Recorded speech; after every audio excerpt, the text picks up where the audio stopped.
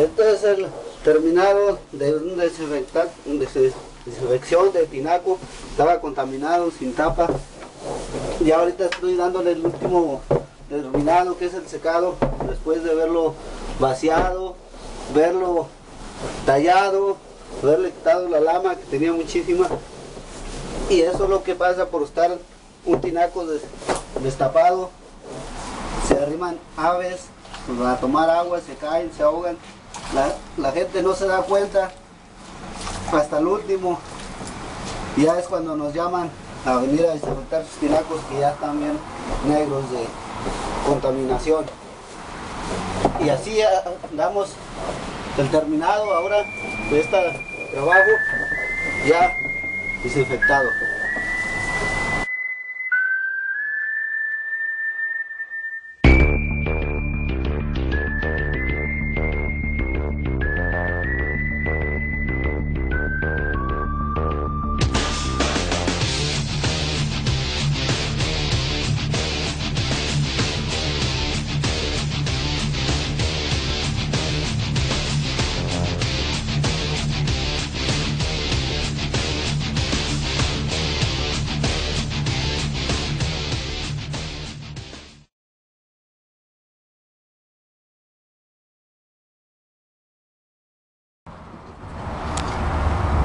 Esta es una paloma que estaba dentro de un tinaco y esta es la lama que había dentro de ese tinaco.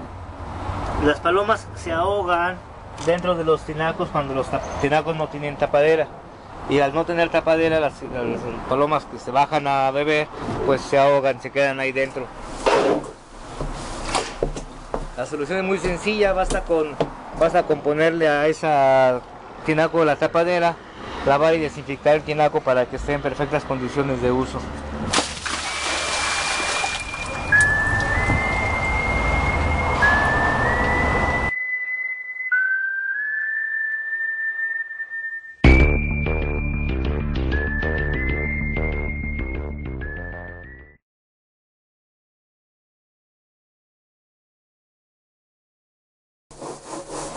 Estamos lavando un tinaco que tenía lama.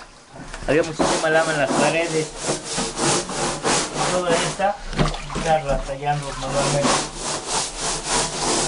Es desagradable estar aquí, es sucio, pero para eso entramos con trajes especiales, equipo de seguridad y equipo de limpieza. Podemos apoyar la limpieza de su tinaco, desinfectarlo y dejárselo como nuevo. ¿verdad? Pues estamos aquí lavando el tinaco, está infectado, tenía mucha lama pegada, una palomita muerta allá afuera, de seguro la habían sacado de aquí, porque está destapado, no tiene madera y es la causa que se hace mucha lama.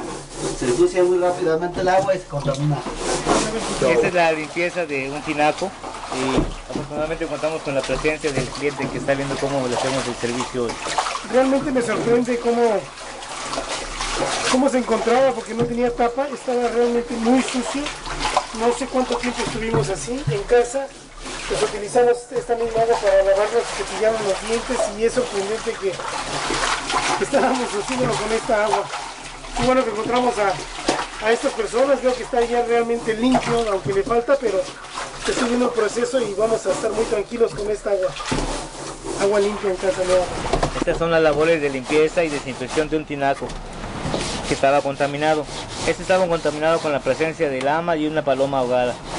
A veces nos toca ver casos en los cuales hay hasta pañales hemos sacado gatos, animales, palomas que se ahogan o a veces dejan ah, material para construcción o a veces dejan cosas aquí adentro de los tinacos. Se recomienda que se lave con regularidad el tinaco y el aljibe en su casa. El tinaco cada seis meses cuando menos y el aljibe cada año. labores de limpieza de un tinaco, estamos desinfectando, ya estamos dando lo que es la segunda parte, estamos tallando, ya se, ya se talló, ya ahorita lo enjuagué, lo estoy enjuagando, sigue sacado de agua, sigue enseguida tallar el fondo, sacar esa agua y darle otra enjuagada con agua limpia.